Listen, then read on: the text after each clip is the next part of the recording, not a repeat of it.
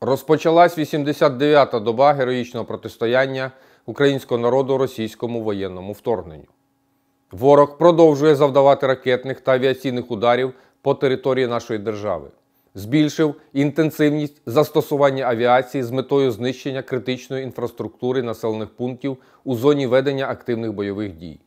На Волинському та Поліському напрямках Збройні сили Республіки Білорусь посилено ведуть розвідку. Розгортаються додаткові підрозділи у прикордонних районах Гомельської області. Загроза ракетно-авіаційних ударів з території Республіки Білорусь залишилась.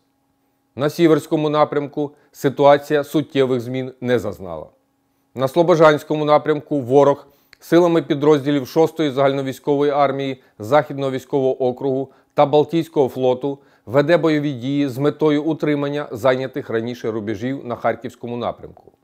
Посилюючи поліцейсько-адміністративний режим, підрозділи противника встановлюють блокпости та фортифікаційні споруди на під'їзних шляхах та безпосередньо поряд з населеними пунктами Великий Бурлук, Капітолівка, Михайлівка, Левківка, Забавне та Куп'янськ. Силами окремих підрозділів Західного військового округу, 11-го армійського корпусу Балтійського флоту, Східного та центрального військових округів ворог здійснює підготовку до відновлення наступу на Слов'янському напрямку. Здійснив спробу наступальних дій в районі населеного пункту Довгеньке. Цей наступ відбито підрозділами Сил оборони. Ворог зазнав втрат і відступив. На Донецькому напрямку противник не полишає спроб прорвати оборону наших військ та вийти на адміністративні кордони Луганської області. На Лиманському напрямку активних бойових дій противник не вів. Окупанти обстрілювали інфраструктуру в районах населених пунктів Лиман, Озерне та Діброва. На Сєвєродонецькому напрямку ворог зосередив зусилля у напрямку населеного пункту Сєвєродонецьк, вів штурмові дії в районі Тошківки. На Бахмутському напрямку за підтримки артилерії противник вів бойові дії в районі Олександропілля. За результатами вогневого ураження силами оборони зазнав втрат та відступив. Вів наступ в районах Липового та Трипілля. Успіху немає. На Авдіївському, Курахівському, Новопавлівському та Запорізькому напрямках відзначається зниження інтенсивності ведення бойових дій.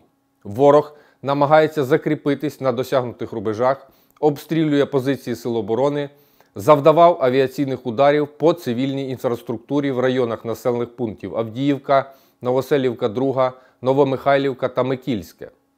На південно-бузькому напрямку ворог активних бойових дій не проводив.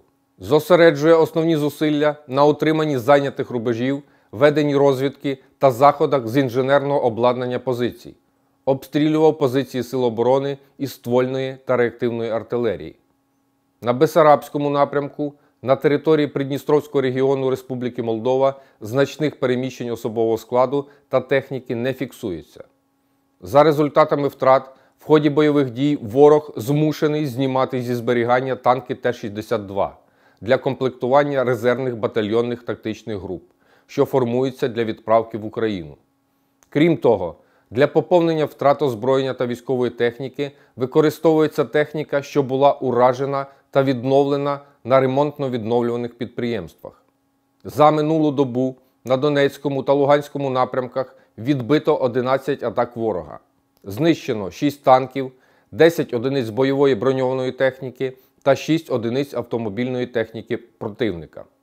Підрозділи протиповітряної оборони на зазначених напрямках збили один БПЛА типу Орлан-10 та ворожий літак Су-25.